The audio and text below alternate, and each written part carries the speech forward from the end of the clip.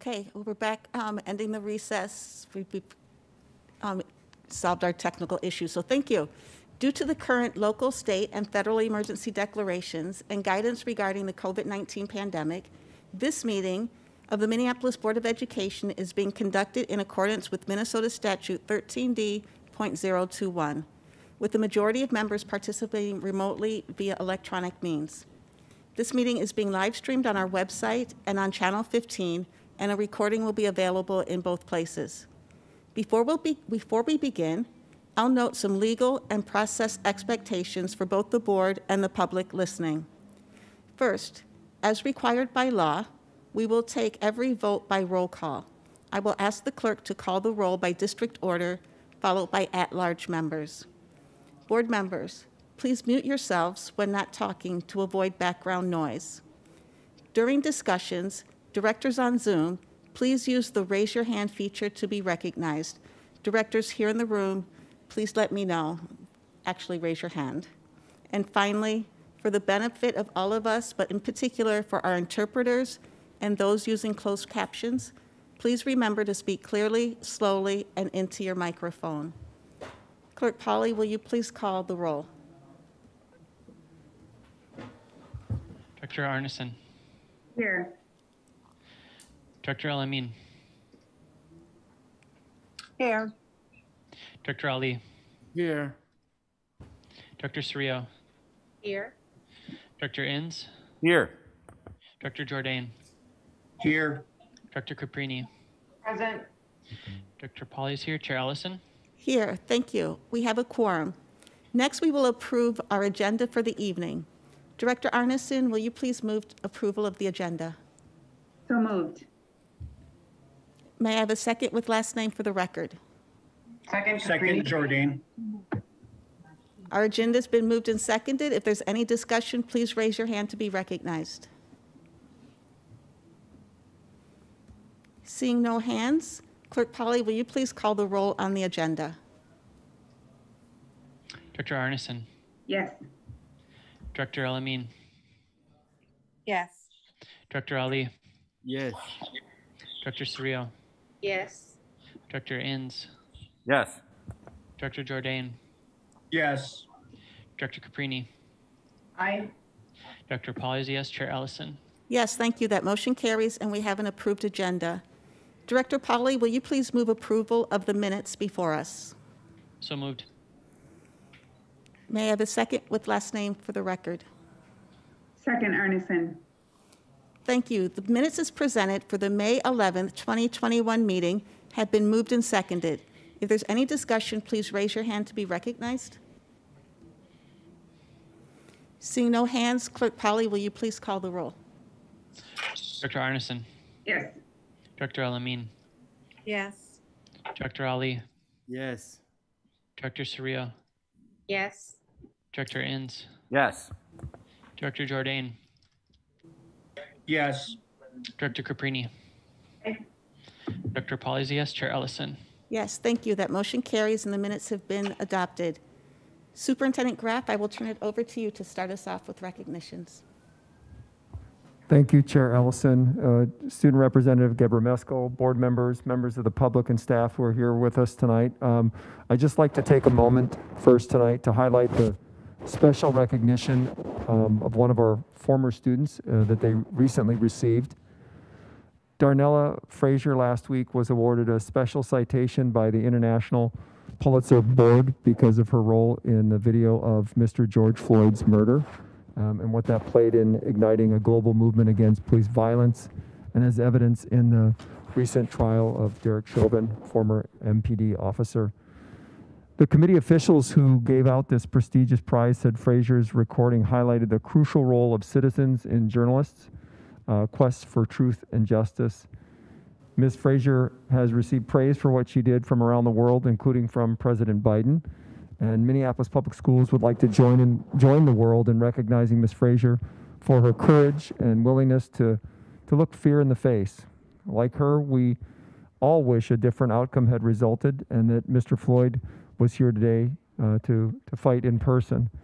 But we want to thank her for the personal sacrifice she made to share what she saw and endure the endless attention, questions, and pain we know she must uh, be experiencing as a result. So thank you again, Ms. Frazier, and congratulations on your well-deserved recognition. Thank you, Chair. Thank you, Superintendent, and congratulations, Darnella. Our city, our country, and our world um, has a lot to learn from you um, as we seek to do the right and often difficult thing. You showed us how to use our voice without saying a word, and so I want to thank you again from all of us. I'm going to pause now, see if any directors wish to add a comment. Director El-Amin?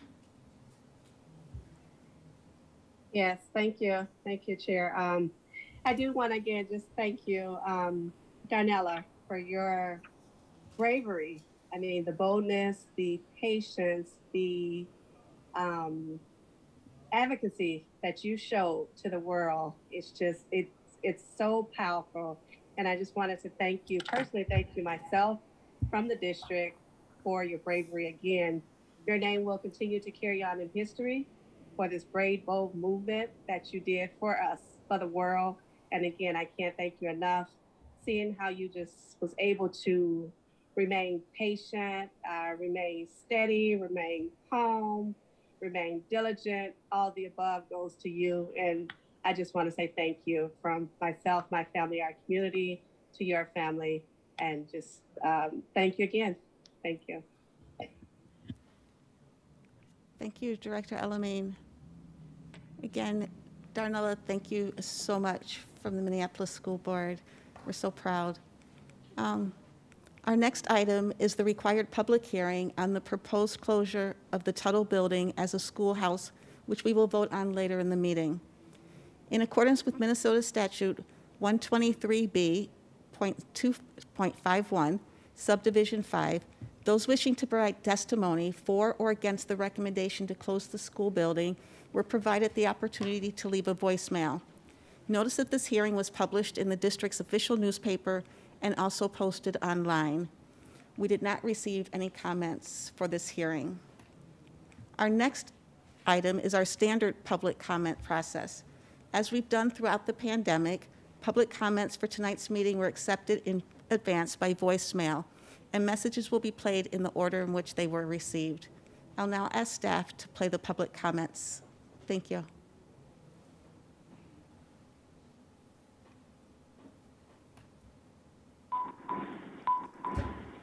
Hello, my name is Reeve Ridgeway.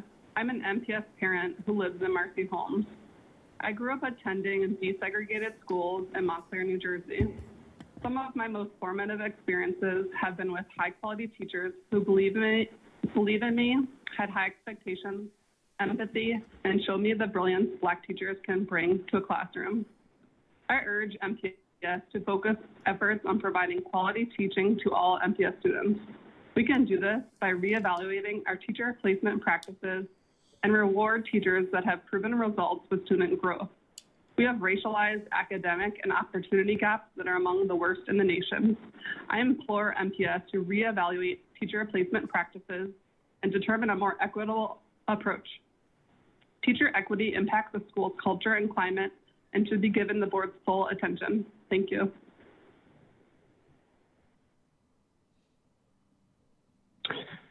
Gary Marvin Davis and New Salem Educational Initiative, just a few blocks from the district, where you cheat these students academically every day your feet hit the ground. I know this. My students come from the Minneapolis Public Schools, and I know just how lousy your schools are. One of the poignant things is, though, is that uh, I try to keep all of my students in the Minneapolis public schools, have them go to your lousy schools and get their real education from me in the two hours that they spend with me every week.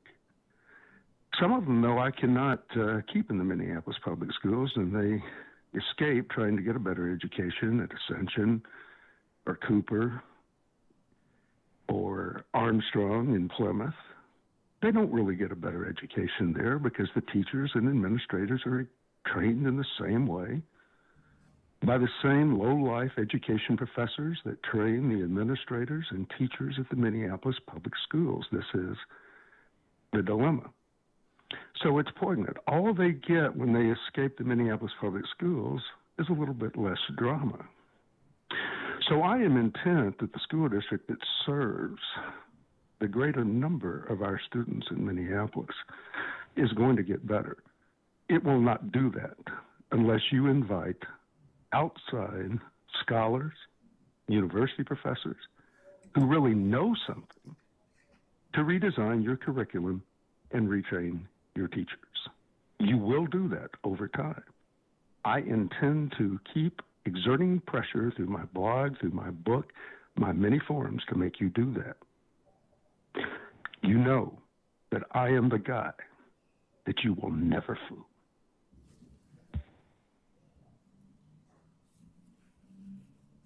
Hello, my name is Emmy Higgs Matzner, and my daughter is starting kindergarten with MPS this September. I'm calling to urge you to prioritize teacher equity immediately.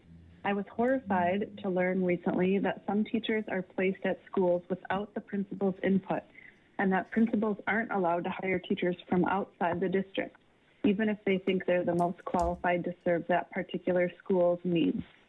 I used to work with an after school program at Green Central. I didn't know about that practice at the time, but I could easily tell which teachers really wanted to be there and which were waiting to move on, most likely toward whiter and wealthier schools. There were many fabulous teachers who were truly invested in working at Green, and many staff members of color who had a special connection with the students. Many of these staff members were not classroom teachers, however, and we desperately need more teachers who reflect their students' identities and who can ensure success for students of color. This board has a responsibility to publicly address teacher equity in MPS and redesign the system to fully meet the needs of students of color in our district. Thank you.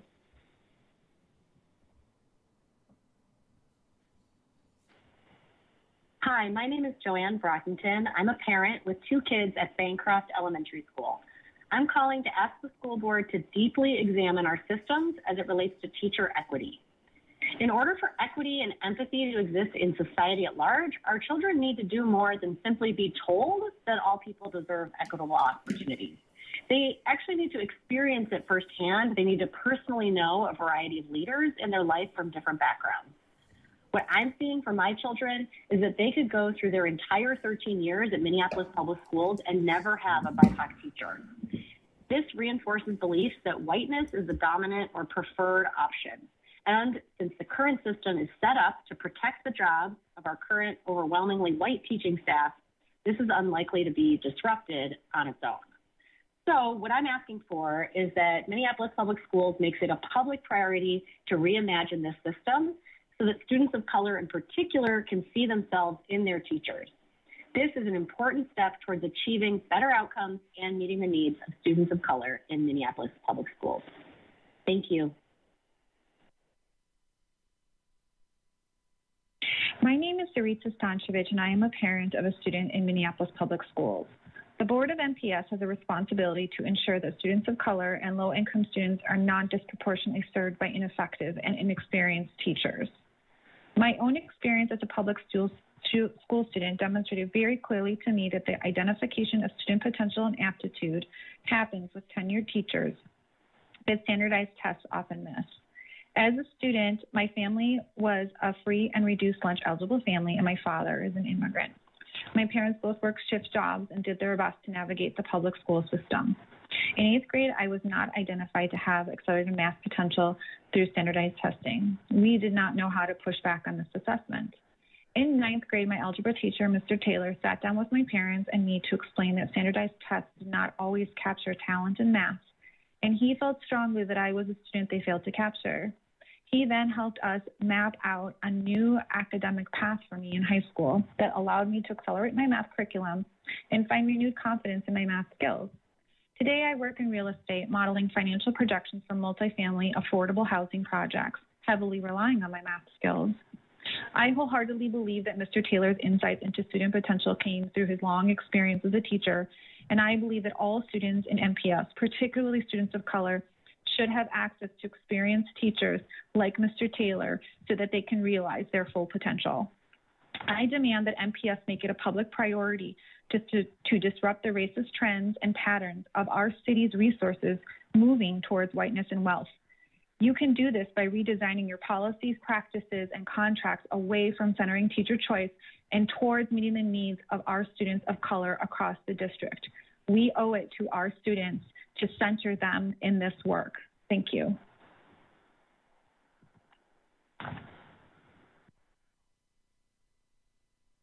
Hi, my name is Patrick Shirley. I live in Minneapolis and I have two students that go to Washburn High School in Minneapolis. I would like to see the board set up time in the immediate future to follow up on the presentation from September of 2019, the HREDIA, and receive an update on the teacher equity plan. Thank you.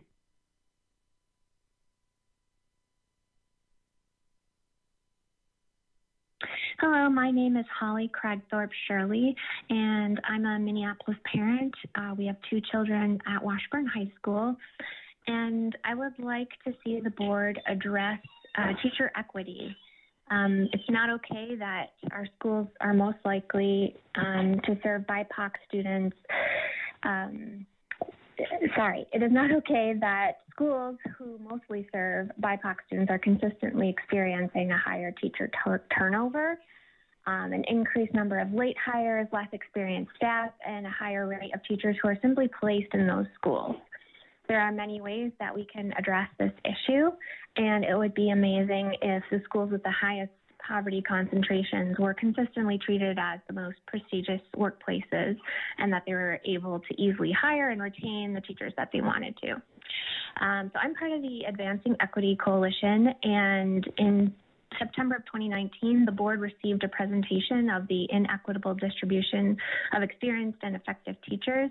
And since then, we haven't heard any public discussion about this issue and what is being done to ensure students of color have equitable access to our high quality teachers. Um, I'd like to see the board set up a time and place in the immediate future to address this um, so that we can receive an update on the teacher equity plan. Thank you so much. Hi, my name is Jessie. I am the mother of two uh, rising kindergartner and a rising second grader um, at MPS. And I just want to, I want you guys to talk about um, teacher distribution and how the more um, experienced teachers end up at the whitest schools. It'd be really nice to see um, some good distribution of teachers that have experience all throughout the city um, I know my students are moving from a Southwest Minneapolis school to a Northeast Minneapolis school, and we are kind of surprised by the changes that we're seeing. So, although we're going to recognize a couple teachers headed Northeast from our school, it would be nice to see a distribution of teachers that have experience and are also interested in helping kids in different parts of the city, not just Southwest Minneapolis. Thank you so much. Hello, my name is Ellen Getler. I'm an MPS parent of two soon to be Bethune students. I've given public comment before about how much I valued my own experience growing up in integrated schools in St. Paul. It's why I supported the CDD. But I want to talk about a layer deeper than what I think is the good start of integrating buildings. Because my schools growing up were integrated buildings, but my classes were not integrated classes. The accelerated courses in my high school were challenging and exciting, and the students in them were almost all white, like me. And what I learned was that almost every one of the few black students in my accelerated courses had a story about a teacher who told them they shouldn't take the course or their parent who had to fight to change back their entire class roster after the advanced classes they registered for were changed. Story after story of school staff and teachers discouraging, sometimes blocking Black students from taking accelerated courses. So this is almost three decades ago. Then this year, I heard a recent Washburn grad and former board student rep tell a story about his sophomore AP chemistry class. He did just fine in the class, but his teacher originally refused to give him the, same, the teacher recommendation that was required to register for the course. Brilliant black student, same experience of being discouraged by a teacher. And I'm seeing MPS's data from 2018 through 2020 that's showing that not even 50% of African American students in our district have taken and passed a single advanced course. So I want to put to this board, and I'm also bringing this to MFT, how will the two bodies that have the authority and mandate work together to comply with the legal requirement that students of color in our district have the teaching that moves them ahead in their brilliance? Hello, my name is Allison Moore, and I am a white parent of two white kids at Hale Community School. Um, I know firsthand how our educational system prioritizes my white privileged kids over kids of color and low income students in MPS. At Hale, uh, my kids have had many skilled, caring, compassionate educators, and I have seen how this experience over time builds a culture of learning and growth within a school community. I know this is not a universal experience across MPS, and we really need to question why we are not guaranteeing that students of color and low income students receive the highest quality education possible from the most talented and amazing educators MPS has to offer. We need to question what structures and policies are in place to incent teachers to move towards wealthier and whiter schools. I urge the board to prioritize the needs of low income students and students of color and disrupt the racist practices that are not serving them any longer. Prioritize teacher equity now so we can truly create a system where all students can thrive. Thank you. Hi, um, my name is Farhia. I have uh, four children who attend Minneapolis High School, middle, and elementary. And my comment for you is uh, the board members. What are you doing about retaining and maintaining uh, teachers, teachers, teachers of color? And what are the plans to recruiting more so our children, students of color, can see themselves uh, in those classrooms having a teacher that looks like them, uh, that supports them both socially, academically. Thank you so much. Have a wonderful day.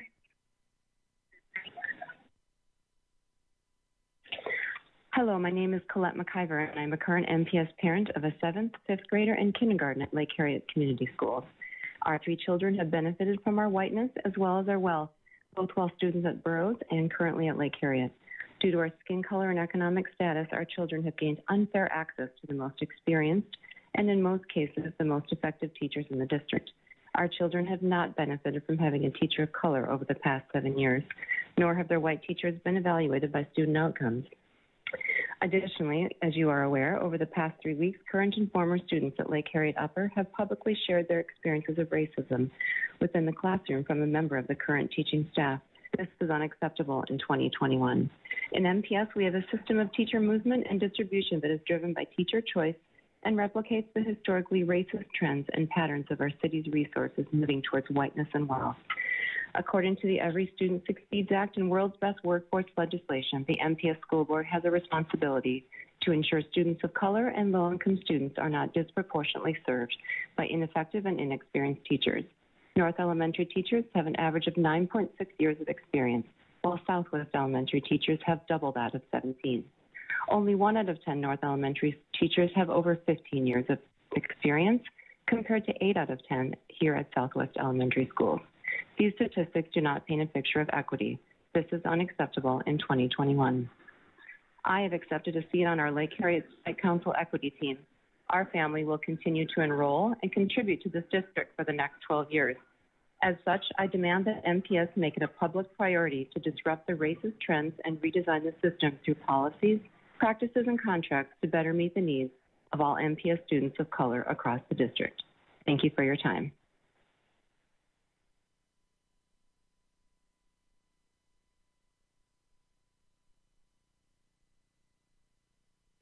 Afternoon. My name is Zainab Omar. I have two children at Barton Elementary, um, fifth grade and fourth grade. I'm also a former um, bilingual aide.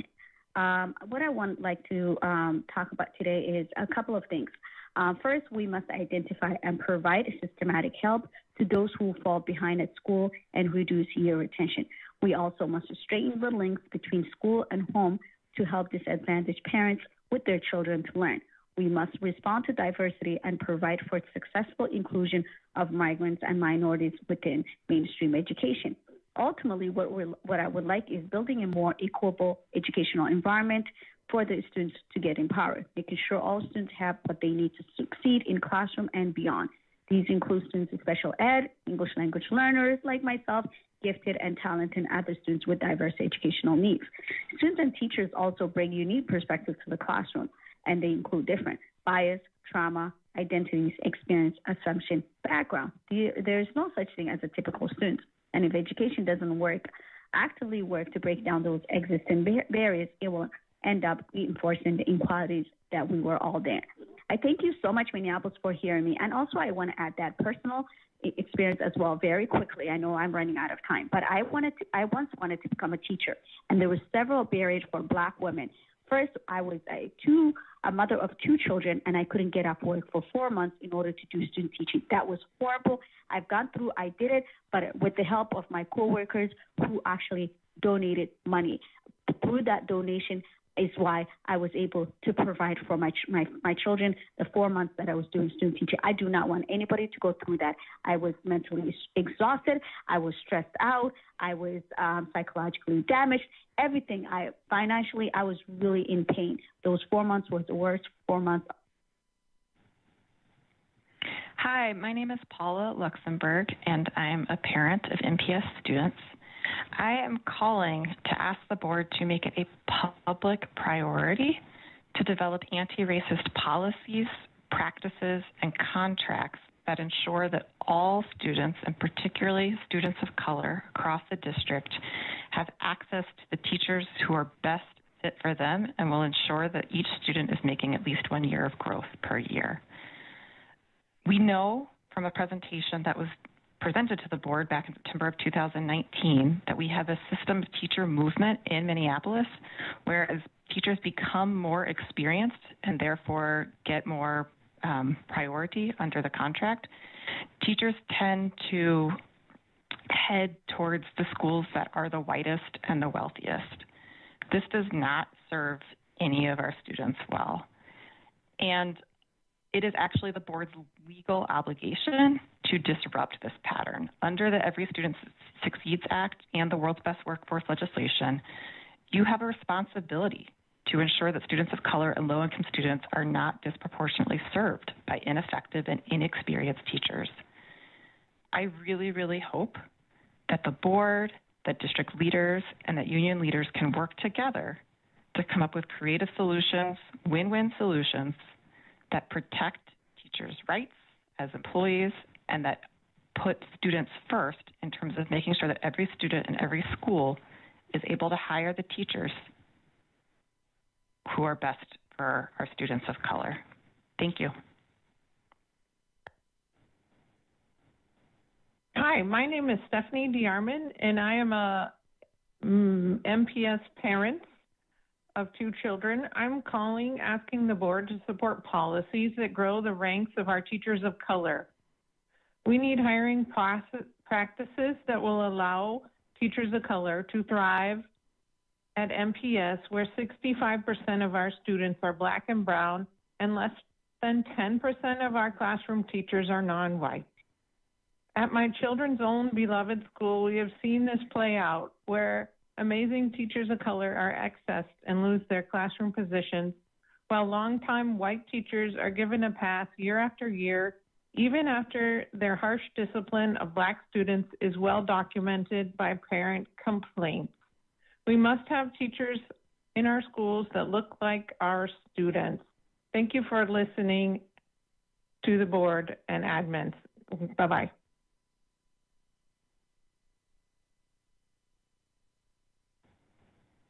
Hello, my name is Jackie Kale, and I'm the parent of elementary and middle school students in Minneapolis Public Schools. Since returning to the school following the pandemic, I have observed some alarming teacher behavior after school.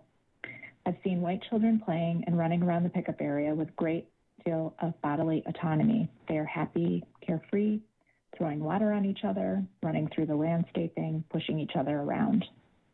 Then, turning around, I have seen a teacher pull at the arm of her black student, hauling that student into line. I have seen other black kids yelled at for running through the landscaping. I've seen a black child happily bouncing a ball, which was then quickly taken away by his white teacher. This disparity in bodily autonomy mirrors the disparity in discipline data published by Minneapolis Public Schools. I strongly feel that these children need to be treated more equitably. I wonder what's happening inside the building, what's happening inside the classrooms. According to the Every Student Succeeds Act and World's Best Workforce legislation, the school board has a responsibility to ensure students of color and low income students are not disproportionately served by ineffective or inexperienced teachers. Are teachers who have been coached to do a better job really doing a better, more equitable job? In Minneapolis Public Schools, the system of teacher movement and distribution, which is driven by teacher choice, seems to perpetuate the historical racist trends and patterns of our city's resources moving toward whiteness and wealth.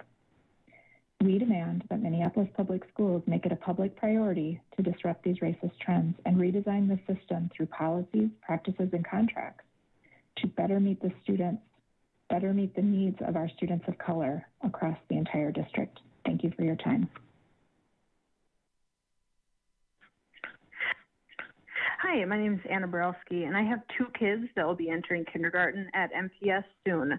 Um, teacher equity is important to me because I know how critical teachers that can personally identify with their students are.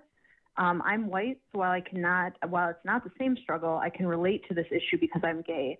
Um, in high school, there were no out teachers at my school, but one day a group of friends and I participated in the National Day of Silence. It's uh, protested to, it's a protest against the discrimination of LGBT, LGBTQ people in schools. Um, one of my teachers, when we walked into their classroom, teared up and thanked us profusely. It felt so important uh, for both me and that teacher to see our shared identity um, represented at school. Students of color deserve that too. This board has a legal responsibility to ensure students of color and low income students aren't disproportionately taught by ineffective and inexperienced teachers. Uh, currently, teacher movement and distribution shows historically racist patterns. Resources are moving toward whiteness and wealth. I stand with, so, with many others to demand that MPS makes it a public priority to disrupt racist trends and redesign the system with better policies, practices, and contracts. It's time. Thanks. Bye. My name is Jessica Hoyt. I'm the parent of a graduating fourth grader at Hale. I'm calling about our students of color and low income students who are currently disproportionately served by often inexperienced and ineffective teachers. In Minneapolis, public schools, unfortunately, um, teacher choice drives the system of teacher placement. And what that does is results right now in continued patterns within our city that um, that really built our city and divided our city. And so we've got whiteness and resources and wealth congregating at the south end. And I'm an educator myself. I know in districts, in big districts, this is this is not uncommon. But I think we have to remind ourselves of what our responsibility is and who we serve. And our responsibility is to students and families first. And we have to get we have to get clear on that. And we need to center the needs of each and every student and family in our district. And that is who we make decisions for. And when we're not making decisions for students and families, we have to ask ourselves why. We need to be brutally honest with ourselves about that. And then we have to get in the way of what's happening. So we need to start removing barriers in policy and in contracts that right now are systematically denying the education that our students need and deserve. And we're talking again about our students of color and our students who are living in low income situations and neighborhoods. We need to do what's right. You need to take a stand. You need to get uncomfortable. You need to move ahead and do the right thing.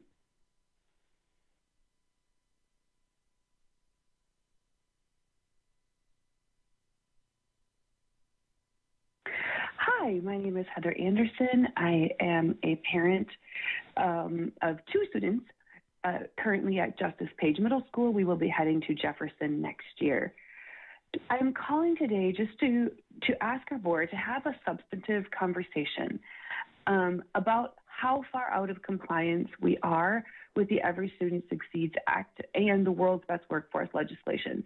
So we know that we have a responsibility to make sure that students of color and low income students are getting access to the things that they need. We know that we have a responsibility to do that.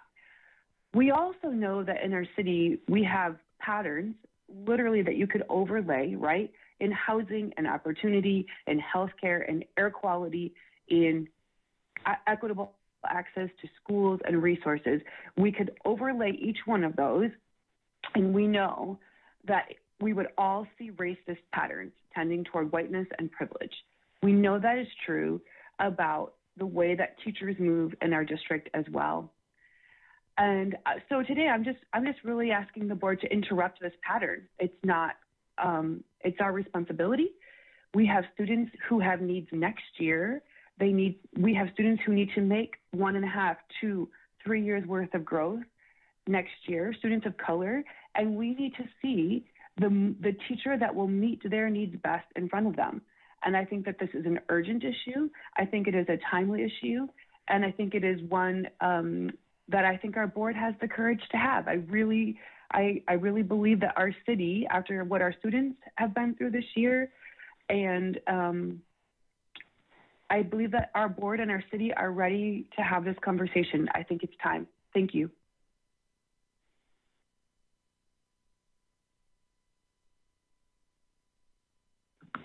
Hi, my name is Carrie Johnson. I'm an MPS parent of twin rising second graders who will be at Armatage this coming fall. Um, uh, over the last two years, my two second coming second graders have had six general education teachers over the last two years, and I've had the experience of seeing up close and personal what it's like to have um, different types of teachers of different effectiveness, even in one building, um, while those two children were going through kindergarten and first grade, both in person and in distance learning. Um, that's given me a really um, an interesting perspective to see how different teachers can operate, um, even using the same curriculum. Also, as a volunteer with the district, I've had the opportunity to um, look at how our systems operate and how uh, teachers are distributed throughout the district and how different effectiveness and experience of teachers goes throughout our district. Um, this board has a responsibility to the state under the World's Best Workforce legislation to assure that um, students of color, Indigenous students, and low income students are not disproportionately served by um, less experienced and uh, perhaps less effective teachers. And right now, I believe that our system of distribution of teachers um, that's driven by, by teacher to- choice is um, perpetuating um, a system based on racism that is uh, creating a system where we are not meeting this goal under the world's best workforce uh, goal to make sure that these students are not disproportionately served. Um, I encourage the board to look at this teacher equity um, question more closely and to make changes to assure that all students are being served by, proportionately by the most effective students and that uh, teachers are are being moved around to schools in the most effective way possible. Hi, my name is Teresa, and I'm a graduate of the Minneapolis Public Schools and the parent of a soon to be fifth grader. Both my son and I have had amazing things come out of our time in MPS moments when a trusted adult gave praise or encouragement and we felt a true belonging. Um, in contrast, we've also had moments of disappointment and hurt when we felt dismissed or disbelieved. And of course, those memories remain terribly sharp. Um, I'm calling today because students of color are disproportionately hurt in our district. We know that teachers hugely influence the lives of their students and that being able to relate to and connect with a teacher in a positive way has a lasting impact. But the brilliance of so many students of color is actively squelched in MPS by teachers whose words and actions are hurtful and by the simple lack of teachers who look like them and can really relate on a deep cultural level. My son and I have been able to see ourselves in many of our teachers, but students of color too often see themselves in none. So, as contract negotiations continue and hiring pro- policies are scrutinized and funding decisions are made, I'm asking you to take equitable action to ensure that every student has the positive experience and quality education they deserve and have a right to. Please Make pathways for teachers of color to flood the classrooms. Change hiring practices and seniority rules so that there's more equitable job security. Create a real accountability system. In no other industry is there zero consequence for poor performance, including displaying racist, sexist, or ableist prejudice. It's unacceptable. So change is long overdue, and I hope these changes are part of your legacy as the gatekeepers for the children of the public schools. Thanks and have a good day.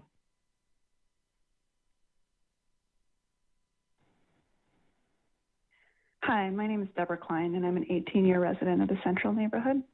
My kids are finishing their last day at Green Central today, our incredible community school, and moving on to Lindale next year. In an effort to build the political and public will to engage changes in teacher equity at MPS, and in order to move board, the board towards active steps to create more access across the district to our most experienced and effective teachers, I'm leaving this comment. I'm a school social worker.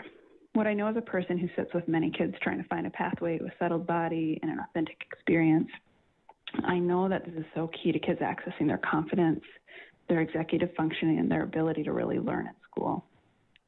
I also know that students of color experience a disproportionate number of behavior referrals and that schools don't have to provide behavior data in connection with specific teachers who are who are giving those referrals.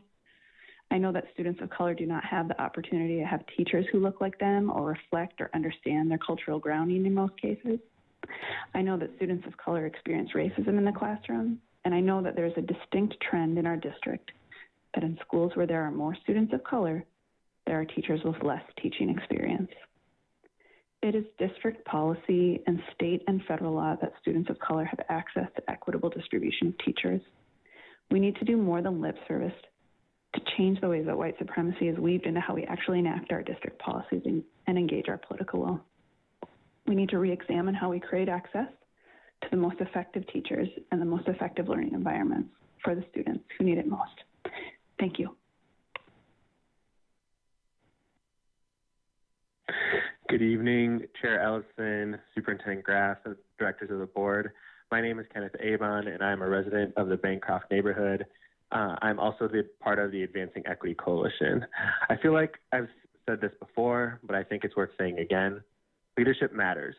Leading with a bold commitment to racial, racial equity does not matter any less today than it did a year ago in the wake of George Floyd's murder. The job isn't done by removing police officers from school buildings and then releasing solidarity statements. This district and board have the power and responsibility to eliminate institutional racism in Minneapolis public schools. We have a system of teacher movement and distribution that is driven by teacher choice and replicates the historical racist patterns and trends of our city's resources moving towards whiteness and wealth. That is something that you all can take tangible actions to disrupt and dismantle to ensure students of color and low income students have access to the teachers to meet their needs. And the Every Student Succeeds Act and World's Best Workforce legislation requires you to do so. Our ask is simple. It's that you take the opportunity to lead with a commitment to racial equity and make it a public priority to disrupt these racist movement patterns through your policies, practices, and contracts to better meet, meet the needs of our students of color across the district. Thank you for your time.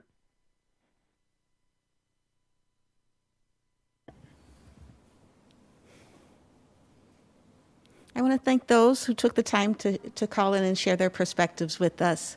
Next, I want to turn it over to Superintendent Graff to provide opening comments for tonight's meeting.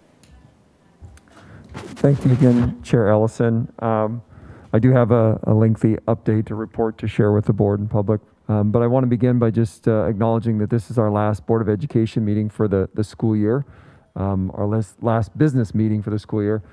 And of course, reaching this milestone, uh, the end of 2021 school year is no small feat. I also had the great honor of attending the hallmark of a school year's end uh, this past week with our high school graduations. And thank you to all the directors and uh, staff members uh, who were able to participate in those wonderful events. Um, at each graduation I attended, it was quite moving and touching to see the resilience, the positivity, and the hopefulness of our, our students, our staff, and our families. And it's taken so much for um, from so many people to get us to this point, and I'm proud and grateful for all of our students, our staff, and families and community members who did help us make it through this past year. Together, we navigated a global pandemic.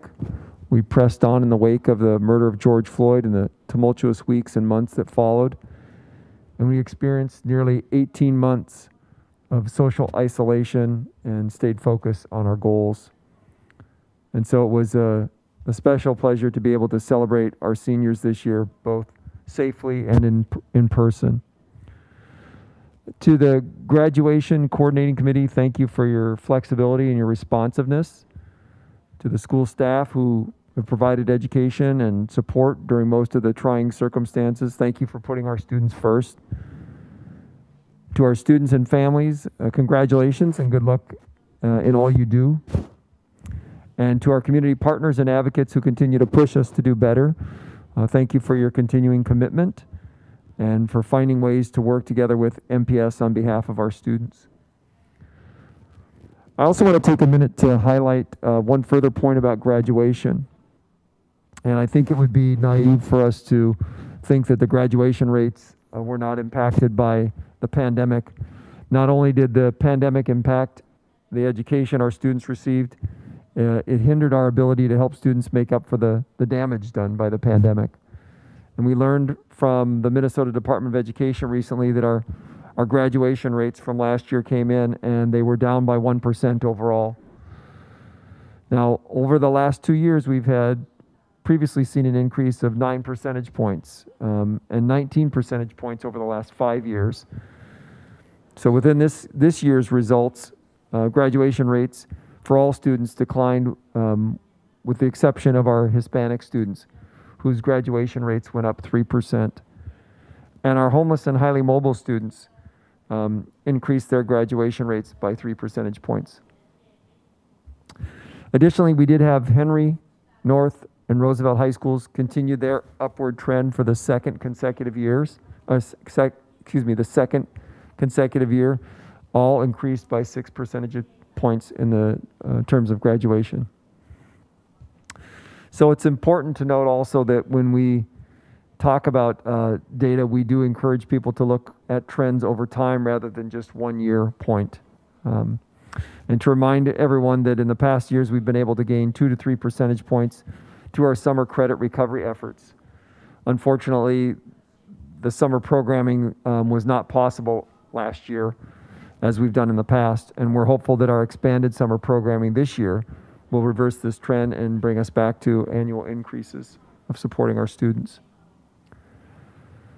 I also want to share a bit of information with you tonight about our planning and community engagement around how our district is um, attempting to designate the federal emergency COVID 19 dollars that we're expected to receive during the next school year. The funds that are most recognizable are those called Elementary and Secondary School Emergency Relief Funds, or ESSER 1, 2, and 3 dollars as we refer to them. The ESSER 1 and 2 dollars have already been received by our district. And in presentations to our American Rescue Plan Advisory Committee, we've shared how a portion of those funds have been allocated so far. And you can read more details about uh, that on our homepage. If you're interested, you can go to the link, look for one time COVID funds under the About tab. Currently, um, I'm working with the leadership team to allocate the remaining ESSER 1 and 2 funds on urgent items that we need funding for right now. And we're looking at items related to supporting students and families in trauma. We're looking to find creative ways to support our seniors who still need credits to graduate or recovery credits. And we're training, uh, looking to train staff uh, to teach in ways that connect learning in school with students' experiences at home to increase the potential of uh, enduring positive effects on learning. And we will plan to share specifics about those projects and the funding efforts in the coming weeks. At the same time, we have continued to seek input from our American Rescue Plan Advisory Committee, and Student Representative uh, Gabor Meskel um, is on that committee. We're also working with our MPS, MPS community about what they see as key priorities for the ESSER $3. And at our last committee meeting, we shared back what we saw as the themes um, in their feedback and also heard a few ways that we need to amend our understanding of what we heard. So just the, some of the overarching themes that were highlighted. Um, one being social, emotional, and mental health supports. The committee said over and over that we need to help our students and families recover from the trauma of the past 18 months, and uh, we, of course, absolutely agree. Another theme has been the academic programs to address learning loss. And this has already begun with our expanded uh, summer programming and plans for ways to help our seniors recover credits um, as we're currently talking right now. And we will move forward with additional efforts related to literacy, math, um, and instruction um, that we know will reach our students in ways that they can also better relate to. Uh, third theme is around safe and healthy buildings and facilities. And this broad category does include items related to air filtration, COVID 19 protocols, building modernization, and technology access. A fourth theme um, is a focus on equity. And I want to be clear that the committee had strong feedback um, to us saying that this cannot be a standalone theme or bucket. Uh, they were very clear about saying that equity must be infused in every area of our work. And so we uh, appreciate that feedback and we agree with um, what we received so far. Additionally, we had included within this theme items around staffing, including retention, recruitment, uh, professional development. However, again, we heard from the, the committee loud and clear that staffing or talent or human resources also needs to stand on its own in a separate uh, category. Um, so we appreciate the feedback and also believe that separating these suggestions out will help us be more deliberate in making our decisions, as well as uh, more transparent in our communication and uh, accountability. So what you will see in the future is that uh, information around um, themes will not include a singular equity bucket. Um, and they will be included in a, a, a focus of human resources in some way. Another theme was around transparency and accountability, and it was recommended we need to be very clear about how we decide on the use of these funds and then ultimately how they are used. And then um, another theme was around community collaboration and partnerships. We all know the saying it takes a village. Um, you know, Minneapolis Public Schools needs to work with our community groups to support our families and students in whatever ways we can. So um, look to seeing more conversations around that theme of community collaboration and partnerships. And then finally, the good news is that our timeline for doing all this um, is longer than we first anticipated. Minnesota Department of Education has communicated to us that the application for these funds uh, will be due on October 1st. And this does give us time to synthesize and to thoughtfully incorporate the feedback of many of our stakeholders. And we're committed to clearly communicating our process for prioritization and more opportunities for the community to share their thoughts and ideas around how we strategically allocate these funds. We will also provide regular updates to the board as we continue our planning efforts and encourage community members to visit the ESSER 3 page on our website for information. And then finally, uh, I wanted to provide some brief context and background on, on, a few of the items on the agenda for board action this evening. Uh, first, as Chair Ellison mentioned earlier during the public hearing, the resolution to close Tuttle School building before you tonight is required by state law because Heritage Academy is being relocated to another facility, which means there will no longer be any educational programming in the Tuttle building. And as a continuation of the discussion that started a few months ago in our, our Finance Committee, this fall we'll bring forward a recommendation to process, um, re- we'll bring forward a recommendation process to address surplus facilities which um, are no longer needed for school or other purposes. Also, before the board this evening is uh, um, your approval for the proposed 2021 2022 district budget and corresponding capital plan. This proposed budget does maintain a commitment to our core priorities, um, invests to help our students and community recover from the pandemic, as well as it ushers in the, the bold structural change through the first year of the comprehensive district design implementation, and uh, finally demonstrates continued fiscal responsibility for our district. And I do want to acknowledge and thank the, the finance department um, staff for their work, uh, the district and school leaders for their work in, in developing this, this recommendation, as well as our school communities uh, for helping us, you know, continue down the path of having a, a balanced, aligned budget to the board's values and priorities. And then lastly, I want to thank the board for bringing forward the resolution condemning gun violence, and I'd like to voice my support for this resolution.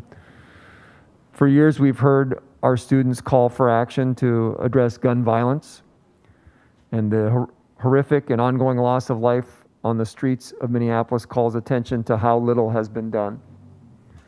And on behalf of our school staff, who seemingly daily must address the realities of gun violence in our students' lives, um, MPS joins with the board in calling on those who can affect change to act urgently for our students and our community. So thank you again uh, to the board for your work and support of these action items this evening. And Chair Ellison, this completes my opening remarks. Thank you, Superintendent Graff. And I, I do want to thank all the staff for their work this past year, um, this past 15, 18 months, um, as they navigate the countless challenges and crises that they've encountered, as well as continuing the work of educating our students. So thank you, staff. Um, for that, I hope you're able to enjoy a relaxing summer vacation. Um, for the next item, Policy Committee report, I'm going to turn it over to Committee Chair, Director Pauly. Sure. Uh, thank you, Chair Ellison. The Policy Committee spent its final meeting of the school year focused on a few data related policies. So, for first reading tonight, we are recommending a proposal to repeal our current policy, uh, 1040, and adopt three distinct policies. So, one for student data, employee data, and public data requests. All three of these new policies are aligned to state and federal law, and they follow the Minnesota School Board Association models. Uh, the committee also forwarded two items that are on tonight's agenda a formal adoption of the state's records retention schedule, which is on the consent agenda, and a recommended EDIA project for next school year on school fundraising. Uh, that concludes the policy committee report, Chair Ellison.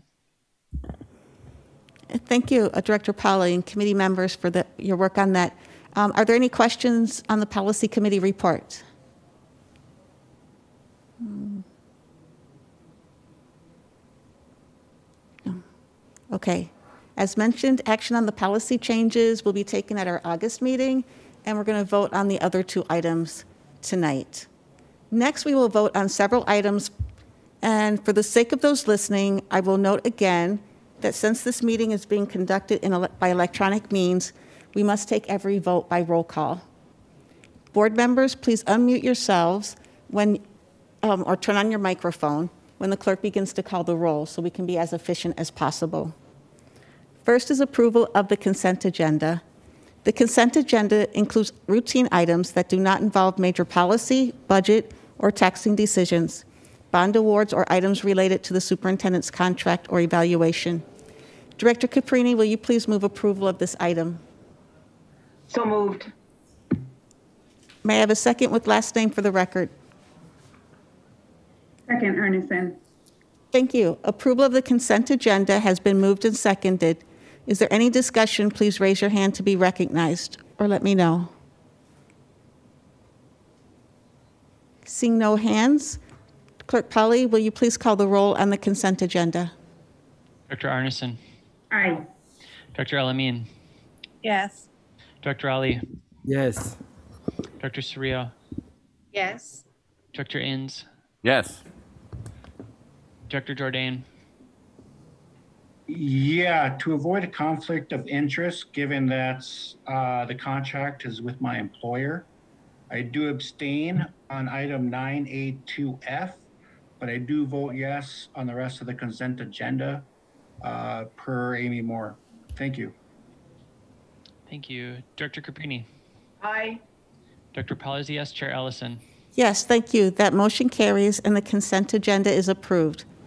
Our next item is the resolution mentioned earlier on the closure of Tuttle Elementary Building. As noted, this action is being taken in accordance with state law since the only remaining educational programming located within the building will be ro- relocated to a more suitable space next year. As a reminder, no testimony was provided for the required public hearing on this item. Can I please get a motion to approve this resolution? So moved. Thank you. Can I get a second with last name for the record? Second, Caprini. Thank you. The resolution to close the Tuttle Building has been moved and seconded. If there's any discussion, please raise your hand to be recognized, or let me know. Director Ali? Thank you very much, Madam Chair. I would like to ask- ask Superintendent Ed Graff, what plan does he has in mind uh, after the closing this building? Director Ali, thank you for your question. Uh, There are probably two parts to your, your question. The first is around um, how do we support the students in their transition? And so they will obviously be um, transl- transferring to our Wilder facility, which is currently housed by Wellstone. The second part would be what do we do with the actual facility? And as mentioned um, previously in my announcements, we have been working to develop a, a process that we are looking to bring back to the board um, probably in early fall to, to share how we are going to um, look at not only the Tuttle building, but a number of our facilities and evaluate whether or not those are still needed for school um, uses in the future. And so that will be part of a, um, an opportunity. We'll bring that information back to the board with a finalized process for how we address um, buildings that are no longer going to be used for educational purposes, the Tuttle building being one of them.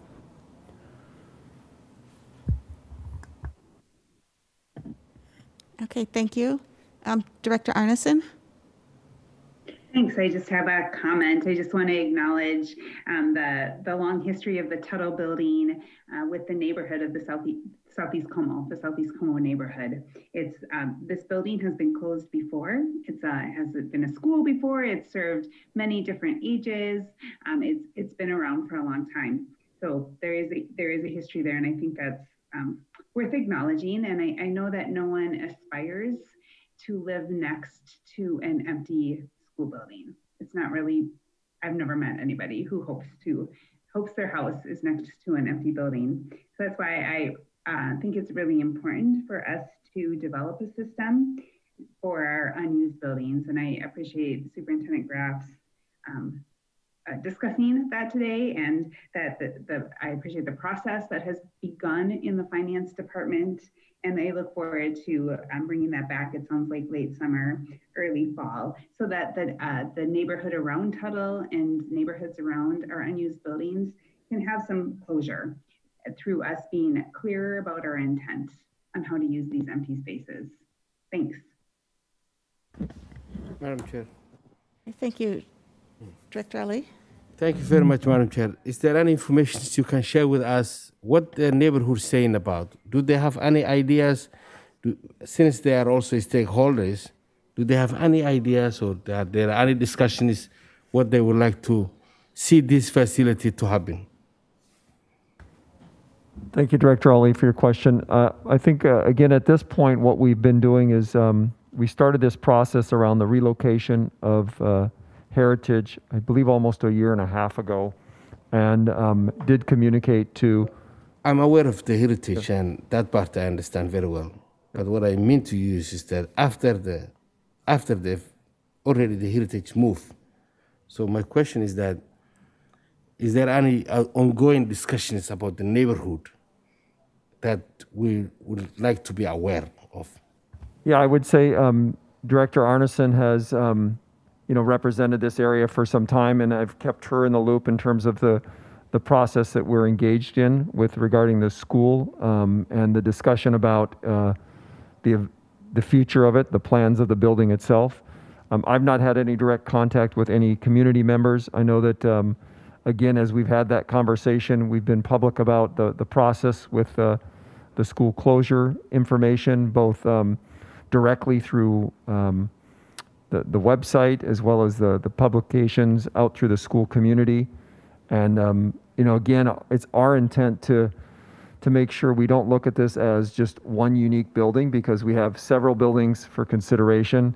And so trying to develop what that process would look like for um, both this one and future ones um, is what we're attempting to accomplish here with uh, bringing that information forward in the fall. Director Arneson? Thank you. Uh, Thank you, Chair. At this, I'd like to speak to that, uh, if that's okay. I have, I have represented, uh, this, this building falls within District One, which is, you all know, is the area that, um, where I'm elected. So I have spoken to the neighborhood association or leaders from the neighborhood association, and I won't, um, I, I can't speak to, uh, the extent of their, of who they, of, um, I guess how far or how many the neighborhood they represent, but we have had conversations. They're very aware that the building is, is that the students are leaving the building. As I mentioned, this is not the first time that that has happened to this neighborhood. Uh, there's been closures in the past, and um, so I wanted to be very intentional about making sure that we kind of that they were aware. And um, as you we noted, they did not provide any testimony tonight, and I think that is at least in part because their neighborhood is familiar with this happening, and they've already begun conversations with uh, city officials and uh, kind of imagining what um, what sorts of needs their neighborhood might have and how how this building perhaps or this space um, might serve their neighborhood. So I'm not going to speak to their um, like feelings. As I mentioned, it's always there's always an element of sadness when you see a long a building with a long history, a school with a long history leave your neighborhood. But I might also just say that there I, I have cautious optimism that there is also um, some unmet needs that could be fulfilled by that space, and they are anxiously looking for leadership from our board to complete the process through finance so that again we can provide some closure and to this neighborhood and and let them know um, how how we might want to use or not use this building in the future so that they can envision um, what the, what it will mean to their neighborhood. And as I mentioned, I want to be clear that the city council office and city leaders are also aware and so that they can provide the support necessary. We are not developers, school district, we are not in a position, we do not have capacity to be developers, um, but that's why it's really important to have relationships with other public entities and, and um, in District One, at least, we do have those relationships, so they are familiar. They are they are aware, Director Ali. I hope that answers your question.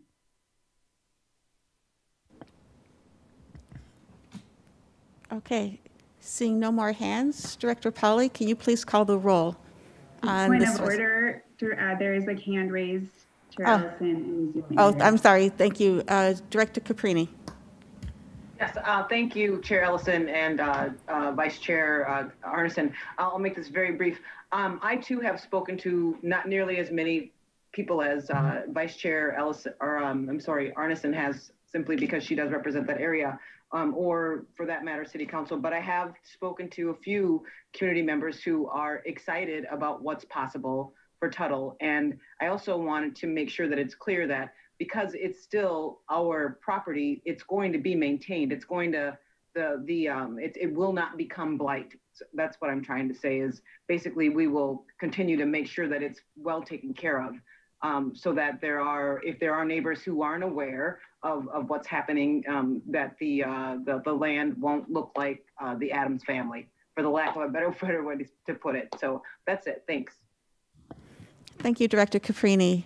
Um, Sorry, Chair Ellison, I just, if it's okay. Sure. Um, I just wanted to add that also the neighborhood is, we've had conversations and the neighborhood leaders at least are very aware of the state of the building. They've had discussions and that is, I know, one of the um, challenges and one of the re- primary reasons behind this recommendation from administration is just the state of the building. It does not have air conditioning. It has some plumbing issues. It has some drinking water issues. Just it's an elementary facility. There's there are significant um, structural and operational challenges to house students.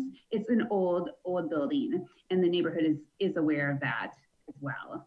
And also, I would just add that they are working with our operations staff um, to should we make a decision. As we make a decision, they're they're poised to work with our operations staff to get the information they need. They've already been provided um, some blueprints and other building details.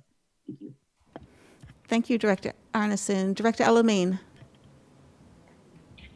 Thank you, Chair Ellison. Um, I know we're talking about Tuttle, but I also wanted to bring it to the attention about some of the schools that have set in North Minneapolis, like Willard, like the Gordon Center, like Lincoln, um, and just that we remain intentional about how these buildings are used and make sure that we are leaving room and space for a community partnership to be able to say what um, can happen, what could possibly transpire from these different buildings and stuff. So just wanted to maybe just mention that just again, as we are trying to be more intentional about the use of these facilities as they sit and we have an option to help build our community. Um, let's try to work to remove all the red tapes and the barriers that have always been there before our communities here in Minneapolis area. Thank you. Thank you, Director El-Amin. I think that'll be part of the process um, Superintendent Graff discussed when we come to back in the fall. Yes, again, we're, we're looking forward to bringing forward a recommended process to address uh, the surplus that we have in facilities and, and certainly um, are hoping for it to be early fall, um, but we'll keep the board and community apprised of that timeline. Thank you. Thank you. Okay, is everybody good? Any other questions, comments? Director Pauly, can you please call the roll on this resolution? Director Arneson. Aye. Director El-Amin. Yes. Director Ali. Yes. Director Cerrillo. Yes. Director Inz. Yes. Director Jourdain. Yes. Director Caprini. Aye. Dr. Pauly is yes. Chair Ellison. Yes, thank you. That motion carries and the resolution is approved. The next four items have been referred and recommended by the board's Finance Committee. The first of these is approval of the district's 2021-2022 budget. Treasurer Caprini, will you please move this item? So moved. May I get a second with last name for the record? Second, Second, El-Amin. Thank you. The 2021-2022 budget's been moved and seconded. If there's any discussion, please raise your hand to be recognized. Hmm. Seeing no hands, Clerk Pauly, will you please call the roll on next year's budget? D- uh, Director, sorry, sorry, Director Arneson. Thank you. I just actually had a, just a couple of quick questions. Okay. Um, and I, I am, I apologize if we discussed this last month and I'm just not remembering that, but I, I think they're pretty quick. One, I'm just, was a little unclear, um, just from the presentation on here. What is the, what state funding is this budget assuming? Are we assuming zero until the budget passes? Superintendent, do you happen to remember or no? Director Arneson, I just want to make sure I'm hearing the question, and I'll ask Senior Officer Diop to address it. You're asking what is the current uh, budget development include for the legislative funding for the current session? Yeah, what is it assumption, what is the assumption? is- I saw the slide of the assumptions and I was, I'm assuming, I'm assuming that we're assuming zero percent given that nothing has passed at the state, but I just wanted to confirm. Yeah, thank you. Senior Officer Diop, would you confirm, please? Um, uh, Chair uh, Ellison, uh, Superintendent Graff, members of the board. Uh, yes, we did um, um, make some uh, assumptions, and one of the assumptions that we made concerning the uh, raise or percentage raise uh, was based on what we knew at the time of that budget development, which would be a uh, flat increase in, in, in, in, in general fund or state fund or state dollars. Okay, thank you. Um, and then I just have a, actually a second question about process, uh, alluding to your comments earlier, Superintendent. You mentioned, and it, this is mentioned as well in the written documents, that we, again, don't, there is um, some federal relief dollars that have not yet been allocated. So of course, we didn't put them in this budget. So I just want, and you mentioned we're working with our, our community group and you're coming back to the board. I just want to confirm, I assume that there's a process that we will come forward with a budget amendment at some point uh, with these extra dollars. Is that, that's the a plan in that, that budget amendment will include at that point more specifics about um, a variety of different interventions that we have planned with those resources. Is that, just would like to confirm that. Yeah. Or just say. Director, Director Arneson, um, again, we have in this particular budget, ESSER 1, SR2 dollars. Um, that what you're referencing, the additional money, ESSER three specifically, have, we have not been, um, we have not completed our application for submission, um, but certainly as a part of that timeline I mentioned that we're revising things with, um, you would see you would see something coming back to the board with an amendment. Um, and Senior Officer Diop, if you have anything additional to add, now would be a good time. Uh, yes, um, as we have indicated in previous meetings, especially uh, the Finance Committee meetings, I did say that um, later in the fall, we would be bringing before the board a budget amendment uh, for any uh, state funds that, uh, I mean, when we would decide how to use those carryover funds from ESSER 1 and ESSER 2. So that is definitely going to uh, be the case. And we, as the superintendent mentioned earlier, we've been notified that the applications deadline for ESSER 3 would be August, uh, not August, but October 1. And so anything that is done uh, with any new money, be it from ESSER 1, ESSER, no, ESSER 3, that would uh, trigger a uh, budget amendment that we would be bringing before you. Uh, so that you know that the budget that is before you right now, if there is any change, be it a penny or a hundred dollars or a hundred thousand, we would make sure to bring it back to you uh, so that you can see that the budget that you approved in June on June 15th is being increased by X amount because of this or, uh, because of this source of revenue or that source of revenue, so that you can be uh, informed throughout the process. Thank you. I, I appreciate that. I, I know that that's always our process. I thought it was worth stating.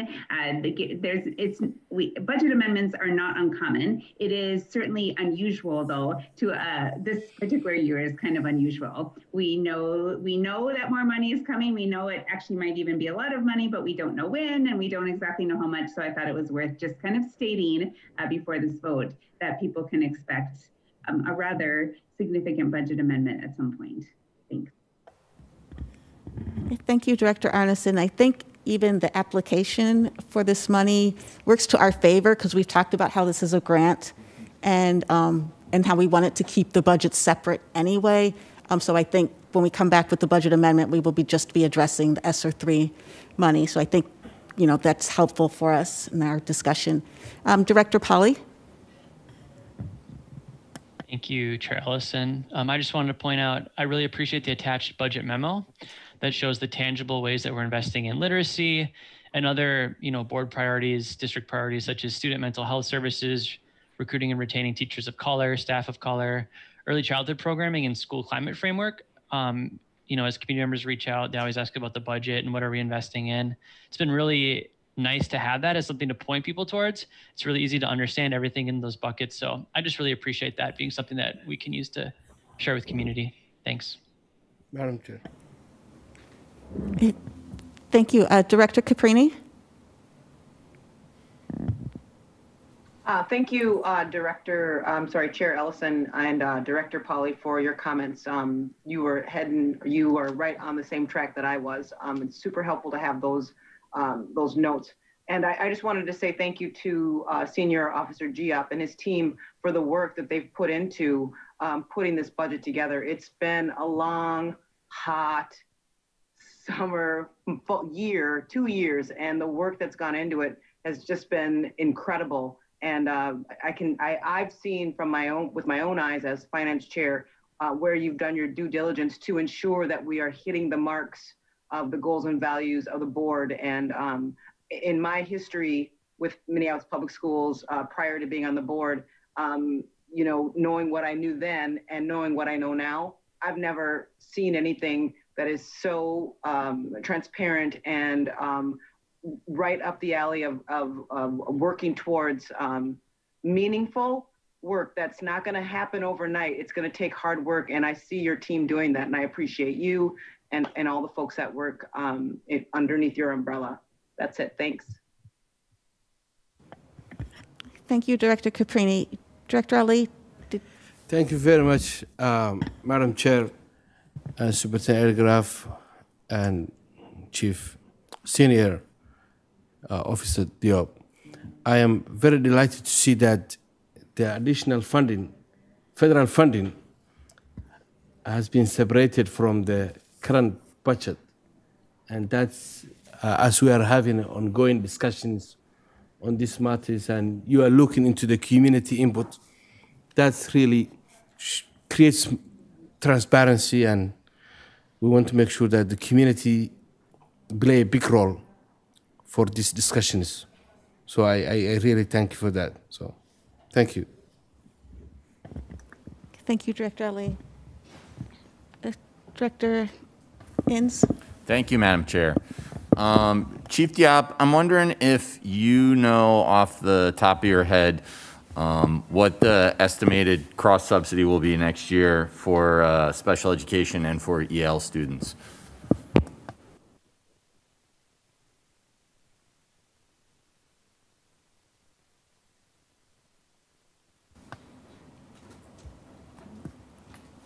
We can't hear You're you on here. mute. I'm sorry, we can't hear You're you. on mute, Senior Officer I'm, so, Diop. I'm, so, I'm, so, I'm sorry. I just so uh, and again, thank you for the question, um, Director Inz.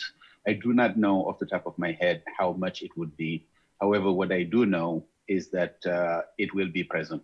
And going by what the previous years have uh, shown, I don't see it anywhere less than the 56 million that uh, we've uh, we've seen uh, a year ago or even uh, this last year.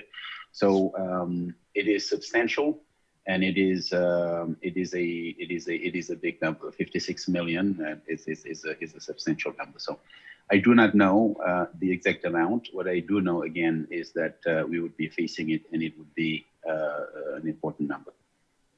Okay, uh, thank you, Chief Diop. I know that I just want to again highlight, you know, I don't feel like we can pass a budget without mentioning, um, I don't want to, I, I know that, um, you know, we've talked about a lot, we've raised the issue, it's become, uh, in the last few years, it's become more of a present issue, and I know right now there's a, a bill at, at the um, U.S. Congress to uh, fully fund the IDEA Act. Um, currently, the you know the original promise was for 40% of special education um, to be funded through the federal government. Currently, they fund about 15% um, of that, so they're down.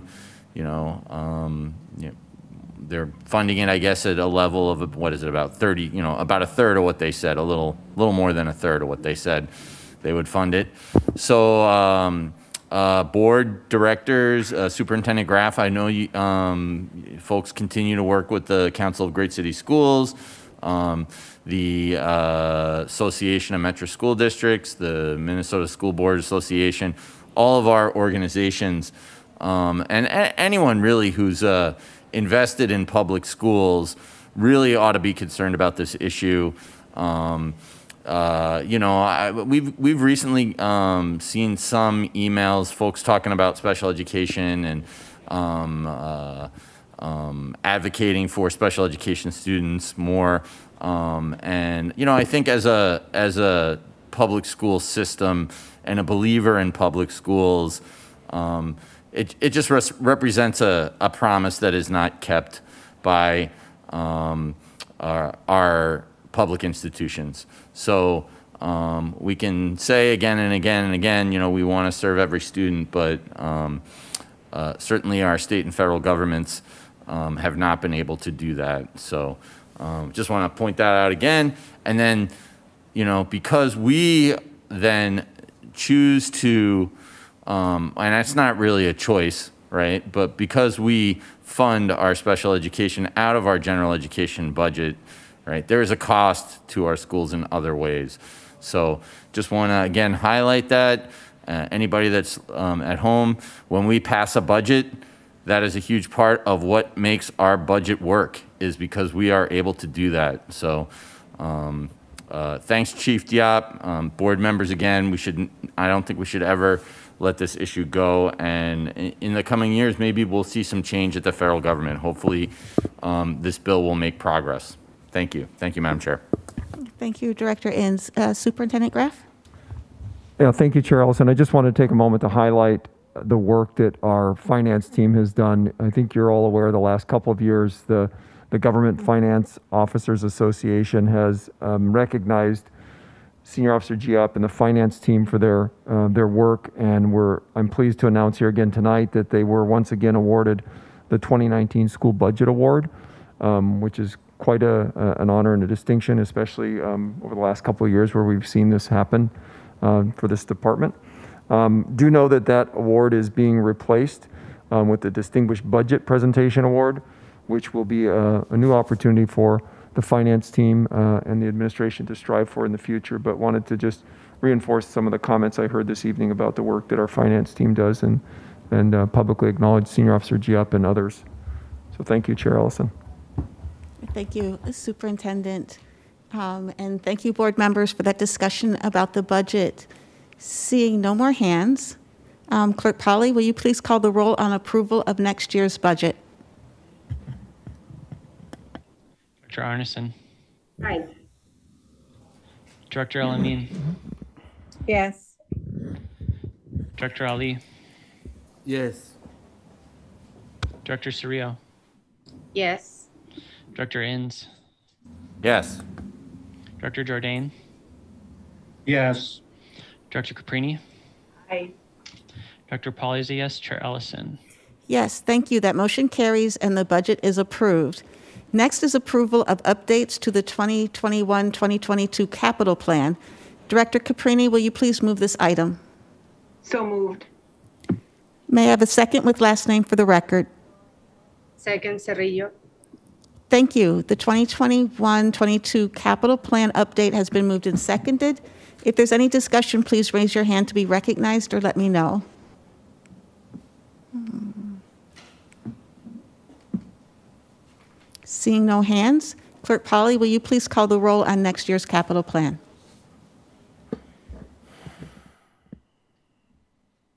Director Arneson, Aye. Director El-Amin, Yes. Director Ali, Yes. Director Cerrillo, Yes. Director Inz, Yes. Director Jourdain, Yes. Director Caprini, Aye. Director Pauly is a yes, Chair Ellison. Yes, thank you. That motion carries and the item is approved. The next item is approval of the long-term facilities maintenance 10-year plan. Director Caprini, could you please move this item? So moved. May I have a second with last name for the record?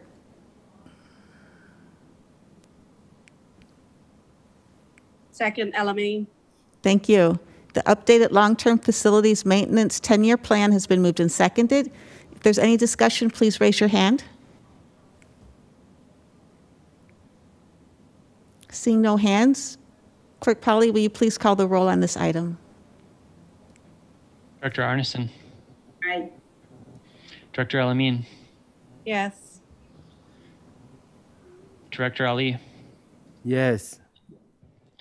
Director Cerrillo, Yes. Director Inz, Yes. Director Jourdain, Yes. Director Caprini, Aye. Director Pauly is a yes, Chair Ellison. Yes, thank you. That motion carries and the item is approved. The final item from Finance Committee is the capital funds transfer labeled 2021-0027. Director Caprini, will you please move this item?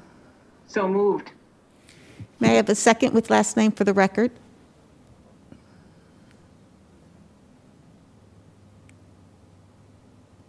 Second, El-Amin. Thank you. The capital funds transfer labeled as Resolution 2021-0027 has been moved and seconded. If there's any discussion, please raise your hand or let me know. Seeing no hands, Director Pauly, will you please call the roll on this item? Director Arneson, Aye. Director El-Amin, Yes. Director Ali, Yes. Director Cerrillo, Yes. Director Inz, Yes. Director Jourdain, Yes. Director Caprini, Aye. Director Pauly is yes, Chair Ellison. Yes, thank you. That motion carries and the fund transfer is approved. The next item is approval of the EDIA project for the next school year, which is referred and recommended by the board's policy committee. Director Pauly, I'll turn it over to you for this motion. Thank you, Chair Ellison. I move that the board directs the administration to conduct a full equity and diversity impact assessment on school fundraising policies and report back findings and recommendations in accordance with our policy 1304. Second, Arneson. Thank you. It's been moved and seconded to, to conduct an equity and diversity impact assessment on school fundraising policies. If there's any discussion, please raise your hand to be recognized.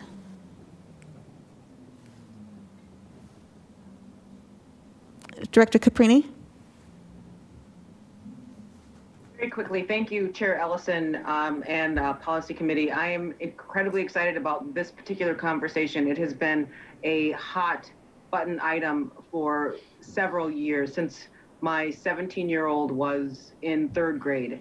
And my hope is that through this uh, EDIA, through this discovery of of how um, this particular policy uh, supports or undermines um, opportunities uh, for schools and for students that we're able to come to some kind of even medium. I realize that I'm, I'm not looking for um, things being equal, um, but equitable. And what can we do as a district to ensure that um, the areas that are, are capable and able to uh, produce and support um, more uh, opportunities for for other um, for for students doesn't stop, but we're we're able to lift up areas where um, I'll refer to Director Arneson's uh, great um, analogy um, during a conversation prior to the vote of the comprehensive district design of parents pushing um, a, um, a cart up a hill full of rocks.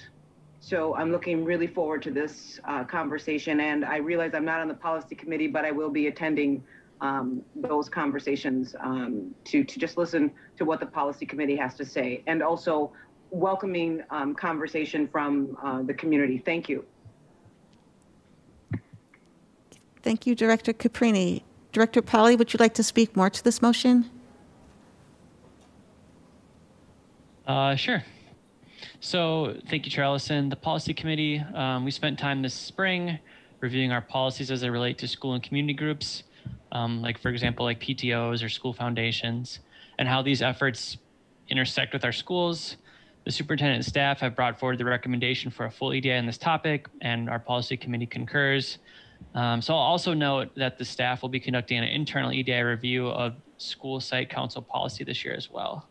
Nice. Thanks. Thank you. Director Arneson? Uh, thank you, uh, and thank you, uh, Director Pauly, for summarizing that up. And just wanted to just add, I said this in uh, in the policy committee, but it's worth noting in this larger committee that there is an opportunity to connect this to our athletic, previously done athletic EDIA and just the parent fundraising or the private fundraising that goes with athletics as well. So there's a there's a connection point there. And just wanted to note this has been discussed in policy as well, um, including the, um, the evaluation of reviewing uh, EDIAs or the recommended action. And I think that's been decided that that will continue to go through a policy. So there'll be an opportunity for us to just kind of keep track once we do these EDIAs. That's where that's where one should look. Thanks. Thank you. Um, seeing no more hands, Director Pauly, will you please call the roll on this item? Director Arneson. Aye. Director El-Amin. Yes. Director Ali. Yes. Director Cerrillo. Yes. Director Inz. Yes. Director Jourdain. Yes. Director Caprini. Aye. Director Pauly is yes. Chair Ellison. Yes, thank you. That motion carries and the item is approved. The next item is a resolution awarding a bond labeled 2021A. Director Caprini, will you please move this item? So moved.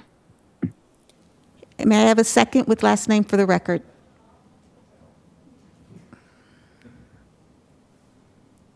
Second, Arneson. The capital funds transfer labeled as resolution awarding the bond sale 2021A has been moved and seconded. If there's any discussion, please raise your hand to be recognized or let me know. Seeing no hands, Clerk Pauly, will you please call the roll on this item? Director Arneson. Aye. Director El-Amin, Yes. Director Ali, Yes. Director Cerrillo, Yes. Director Inz, Yes. Director Jourdain, Yes. Director Caprini, Aye. Director Pauly is a yes, Chair Ellison. Yes, thank you. That motion carries and the bond sale is approved. Our next item, under new business, is a resolution condemning gun violence and calling for action by our policymaking colleagues. I will move, I will move approval of this resolution and ask for a second.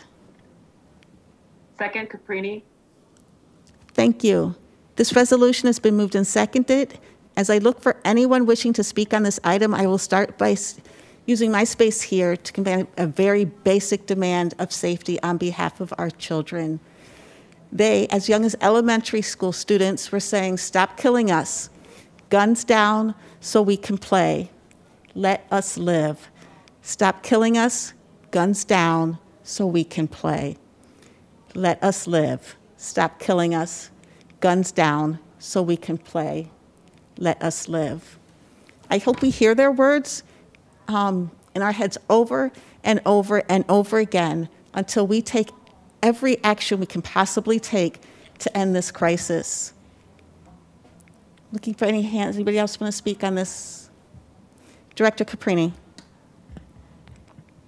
Thank you, Chair Ellison. I, um, I, I truly appreciate this resolution. Um, it's, um, it's so incredibly needed. There, the violence that is happening across this country due to gun violence, um, and then just narrowing it into our um, city in Minneapolis, and then in uh, pockets of of Minneapolis North, um, Center South. Um, it is it's truly exhausting and um, i can't imagine what it feels like to be a seven year old that desperately wants to be able to just be free and walk about but has a parent who is so shattered with fear about allowing them and accommodating them to to be able to um, just walk in areas where they have in the past and not have had anything bad happen. We're we're all aware of the tragic deaths of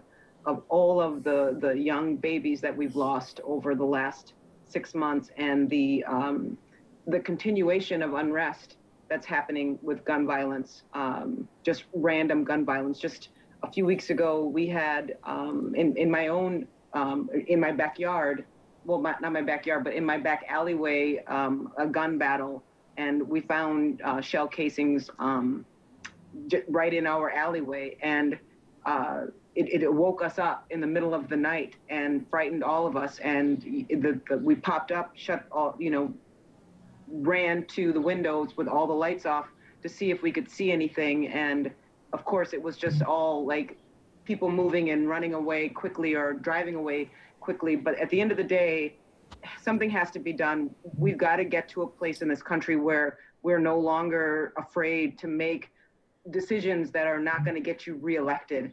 Um, make the tough choices and uh, uh, and do the right thing with gun violence. It's gotten so far out of hand that um, I hate feeling afraid just going to the post office, but going because I can't keep myself from living. Thank you. Madam Chair. Thank you, Director Caprini. Uh, Student Rep Gabramesco? Um,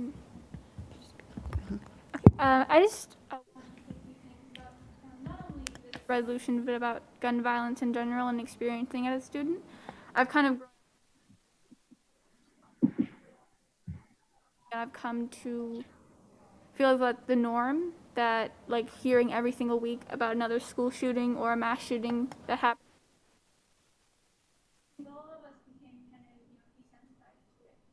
Um, but at the same time,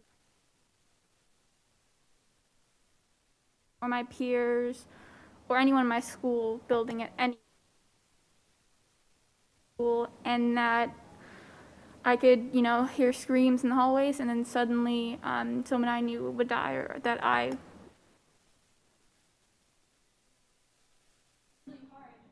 With virtual learning and with also a lot of the quarantining that's been happening. only things I can actually say that have gotten a little bit better for some students did not have. Um, and I just feel like, you know, a single going to change any, any not going to change things overnight, but I need to be more focused on this because no student should ever have to feel afraid or being in their school building.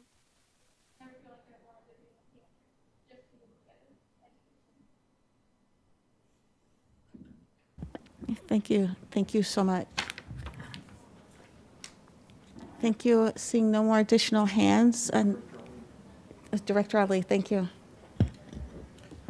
Thank you, Madam Chair. Uh, and I'm supporting this resolution and I'm condemning this gun violence to the strongest term. This is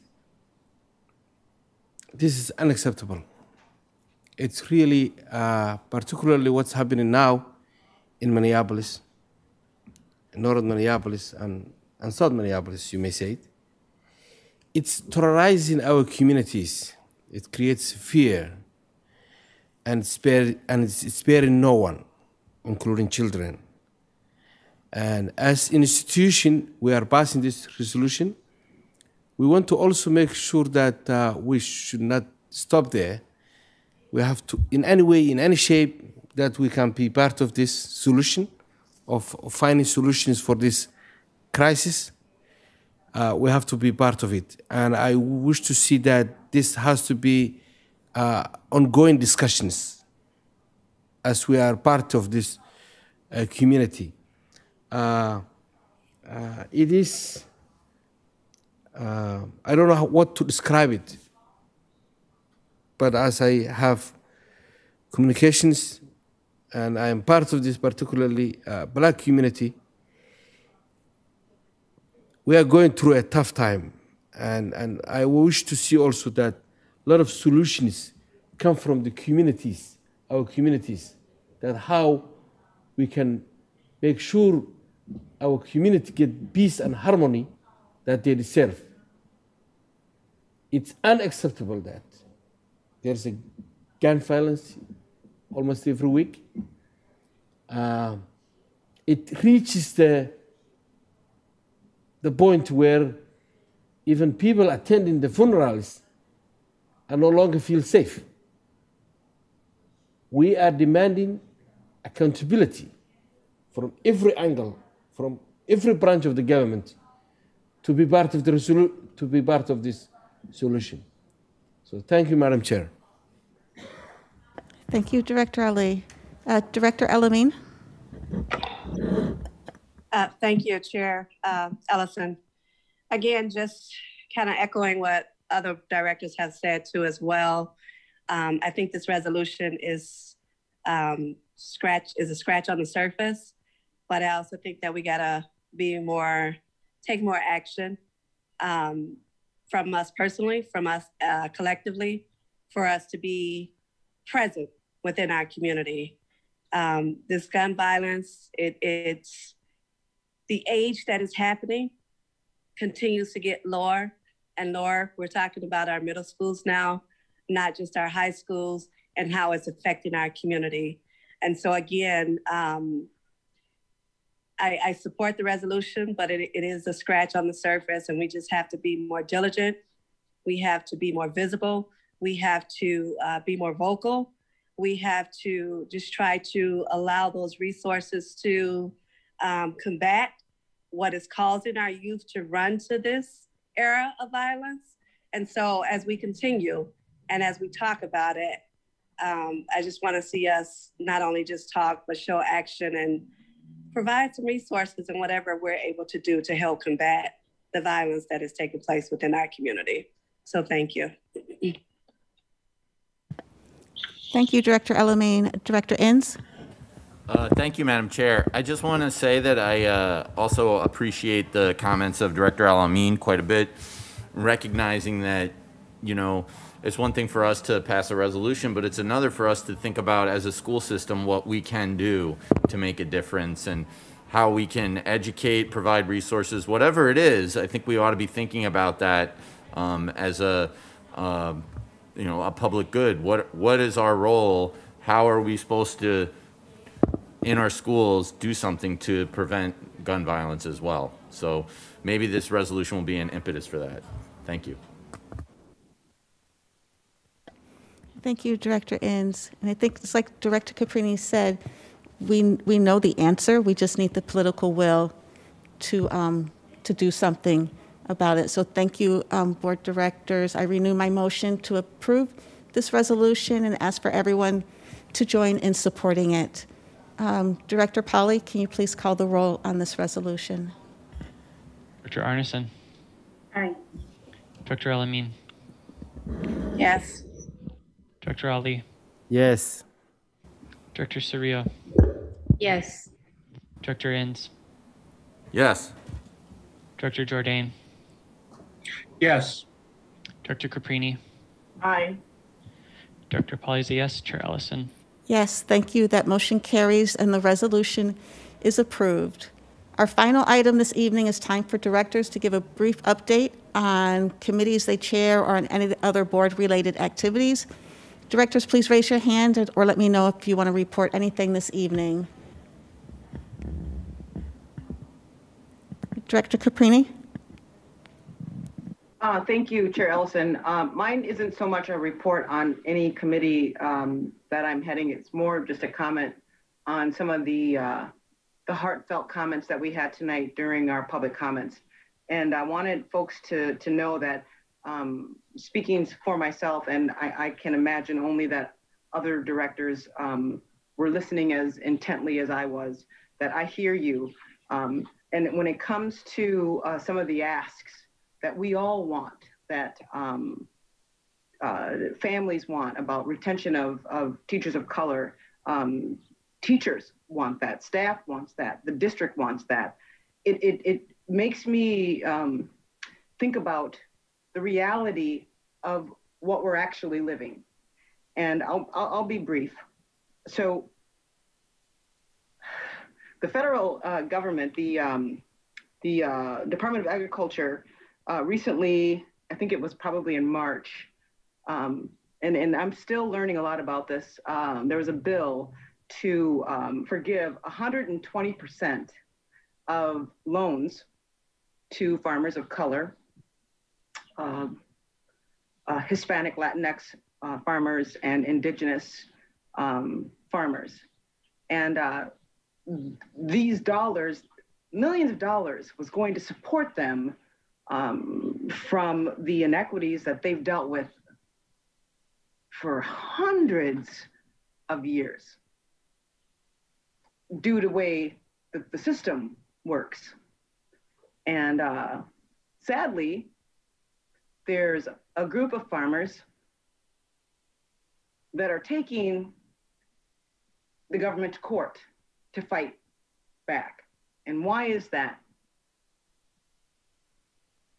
When so many um, non um, farmers of color have received billions of dollars in bailouts for their for their um, loss um, with their farms.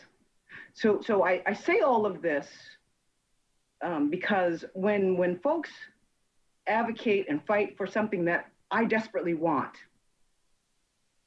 are we going to get to a space just here in our tiny little our tiny little spot in this um, educational sphere minneapolis public schools regardless of what everyone else is doing? Are we going to get to a place where we have the um, the wherewithal to be able to get to a place where we can use language that's going to bridge some of those wants and desires that people are asking for because the way that I hear it is, um, and, and, and, and tell me if I'm wrong, it's against the law. It's, it's discrimination. You can't say, you can't do that without having the language to back this up. So I'm frustrated.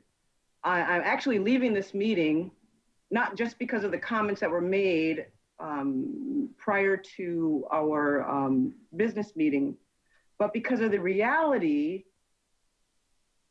that this isn't just a Minneapolis public schools problem when it comes to equity. This is the state of our country.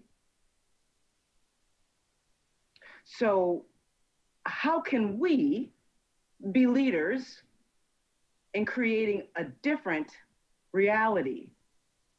So, when you show up for negotiations, what are you willing to give up to make sure that we're giving our students the very things that everybody says that they want them to have? That's it.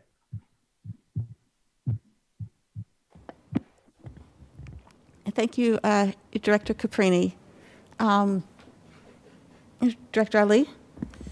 Yeah, thank you very much, Madam Chair. I, I just want to take this opportunity to thank Superintendent Ed Graff and all staff members who put this together, this event of graduation celebrations. I, it was a joyful moment when you attend those uh, events, graduation ceremonies, and when you meet the students and you see their, you know, how emotionally they're excited and happy. Um, I, I wish for all of them a bright future and successful future, and congratulations to all of them again. Superintendent Ed Graff, thank you. Particularly, I want to thank the, all the school principals. I know it's not an easy to put this event. We have gone through a tough time, but I'm also very happy that this year we had a, you know, great celebrations. Thank you. Thank you, Director Ali. Student Rep Gabramesco? Um, I, I just also want to say my congratulations to all seniors who are graduating. Um, it's been a pretty unprecedented year for everyone and a very challenging year for everyone. And I think at the very beginning of the school year, it was really hard to see how things were going to end up. It was kind of like the light at the end of the tunnel. Um, and so I just wanted to congratulate everyone for getting through the many, many obstacles that we face and getting used to virtual learning and trying to still connect with our teachers and still connect with our friends and still um, keep up with our both our mental and social well-beings. Um, and so I just wanted to congratulate everyone, but especially seniors, for getting through that and getting to that other, the other end of the tunnel. Thank you. Director Inz? Thank you, Madam Chair. I also wanted to say congratulations to all the uh, graduates this year and uh, comment on how great it was to be able to attend um, graduations again after not being able to go last year. Um, and just, you know, how important that is, you know, for a culmination of what we're trying to do here. Um, and I think if we think back to last year, how difficult it was for everybody to not be able to have uh, the in-person graduations. And um, I appreciate all the work that everyone did, all the staff. Um, a lot of, I know we had some folks, some old staff volunteer to help out as well. Um, it was great to see them. It was great to see, I think we all had the experience this year of graduation of saying to somebody at some point or another, hey, I haven't seen you in about a year or more than a year, right? So Director Ali and myself, I mean, I got to give Director Ali a hug for the first time in a year and a half. Um, we got stuck in the elevator today together. we weren't stuck, but anyway, um, it was. It's just really great to have that experience again, and I wanted to say thank you to all the staff that worked so hard and all the students that worked so hard so that they could be a part of that and supported their peers and all the families that supported students all the way through to graduation. So, congratulations to everybody, and um, uh, thank you everyone for making that happen. Thank you. Uh, Director Arneson? Thanks. Uh, our, I, our echo and um, agree with everything that's been said. For congratulations on the thanks thus far. Um, but also want to add, as we end this school year, as we end kind of this, school year and the school board meeting, uh, I, I, know we have one more, but just want to acknowledge just the challenges of hybrid. Uh, some people in person and some people um, on the screen and how really difficult that is for technology. And so I just wanted to take a moment to thank all the, the people who are in the board area right now, making our hybrid meeting happening um, all year. I know that our teachers have become um, had to become experts to it, but we also have a host of, of staff here um, running our our hybrid meeting, and it's super complicated and hard. So thank you. Thank you. Uh, Director Caprini? Thank you, Chair Ellison. I wanted to take a moment just to isolate one group to say uh, a big ups and a thank you and a huge hug to iDream TV. The, the work that they have done to produce all of our graduations, all of our board meetings, and a host of other things that they do with MPS is absolutely amazing. And I never had any idea of what went into the production of all of it, but to have had the opportunity to see this from the other side and the uh, the going betweens and the runnings and the workings and it's always perfect. And nobody ever knows when something goes wrong. And that is a true testament to their dedication and their hard work and their just their uh, ability to be um, top notch in in what they do. So um, thank you um, Edie Paul and your whole team iDream TV you guys do fantastic work. That's it for me I promise. No more